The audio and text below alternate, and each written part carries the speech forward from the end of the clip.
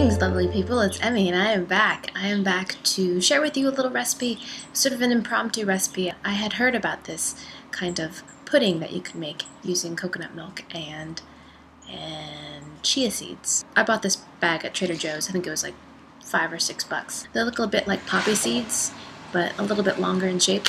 Anyways, they're supposed to have all kinds of great benefits for you in terms of having great source of soluble fiber, great source of omega-3s and 6s. Anyways, it's a great thing. So let's go in the kitchen and I'll show you how I did it.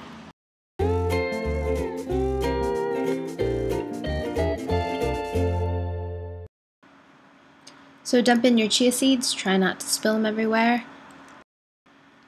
Then add your honey and then put on a tight fitting lid and give everything a good shake. Refrigerate for two to three hours or preferably overnight and you're done. This is what you get. But look how thick this is. It's incredible. It's like a rice pudding. And those little things in there are the chia seeds. Itadakimasu. Mmm. So good. I love it. The coconut milk is nice and rich, kind of like a tapioca, or I think more like a rice pudding. There's a slight texture, it's very, very thick and jellied, and there's a little bit of a seedy crunch, just a little bit. Not to be bothersome or annoying or anything, just lovely. If you don't like coconut, you can also try, I've seen other recipes with yogurt. Someone put on Facebook making a type of oatmeal with that, like an overnight oatmeal. You just add berries, chia seeds, and old-fashioned rolled oats. Add that all together and just let it soak overnight, and then you've got a really healthy, delicious breakfast. Soaked a quarter cup, which is about four tablespoons, in about a cup of water. Look at this beautiful mucilaginous stuff. Look at that. Can you see that up close? Look. Oh, it's so cool. You can buy a lot of these drinks now, kombucha, a bunch of different kinds of drinks now that have chia seeds in them, and they're floating in suspension like frog eggs, a bit like my basil, uh, my basil seed drink.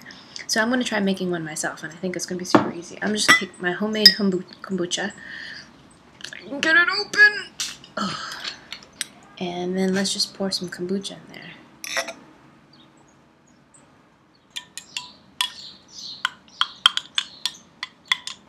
How cool is that? You make your own chia seed drink. Let's taste it. Here we go. It smells like kombucha. But you know, you don't have to use kombucha. You can use like any drink, any fruit juice, any lemonade, anything you want if you want to try this. Here we go. Hmm. So the taste is the same. It tastes like kombucha, but consistency is definitely altered. Kombucha is usually effervescent, light, and fuzz, uh, fizzy.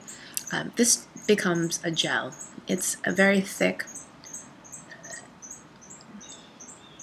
not very thick, but thick. It thickens it up, and then you get these little crunchy chia seeds inside.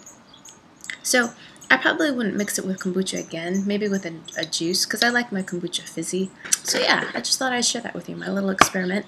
Definitely try the pudding recipe if you love coconut. I think you'll have a new happy dessert. And this too, if you want to make a drink. I think this would really be great in smoothies and, and other things as well. Kombucha, for me, I like my kombucha straight up. I hope you guys enjoyed that little recipe quickie, um, yeah, little exploration on chia seeds. So I will see you, yeah, I'll see you in my next video, other recipe videos. Bring, bring, bring. Don't forget to, you know, do all that good stuff down there you know, not down there, you know, subscribe and like and all that kind of good stuff. And I'll see you in my next video, thanks for watching. Bye. I'd like to share with you a portrait that I recently had commissioned. I think it's a really good likeness.